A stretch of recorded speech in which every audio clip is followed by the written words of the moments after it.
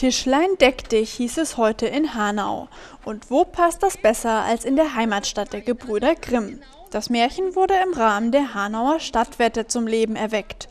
Zum 15. Jubiläum der Hanauer Tafel forderten sie Bürgermeister Klaus Kaminski heraus.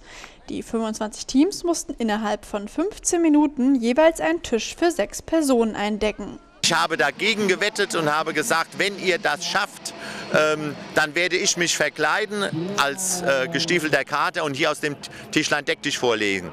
Ich kann der Hanauer Tafel nur gratulieren, Dank sagen allen, die hier mitgemacht haben. Ich habe diese Wette grandios verloren, ähm, aber es ist mir noch nicht so leicht gefallen, äh, eine Wette zu verlieren wie heute hier. Und deswegen sehen Sie mich auch in etwas ungewohnter Tracht, ein äh, Kostüm aus dem Brüder Grimm, gestiefelte Kater. Und ich habe jetzt schön vor dem Brüder Grimm-Nationaldenkmal hier Tischlein deck dich vorgelesen. Die Wette war ein großer Spaß, hatte aber auch einen ernsthaften Hintergrund. Ja, wir möchten einmal zeigen, dass man auch ohne große Kosten zu verursachen eine tolle Feier veranstalten kann, in die wir auch die einbinden, um die es geht, nämlich Tafelkunden, Mitarbeiter, ehrenamtliche Helfer, äh, Gäste, alle an der Tafel Interessierten können heute an einem Tisch sitzen und gemeinsam essen und feiern und Spaß haben. Am Schluss wurde Bürgermeister Klaus Kaminski sogar zum Ritter der Hanauer Tafel gekürt. Ab heute darf er den Ehrentitel Sir tragen.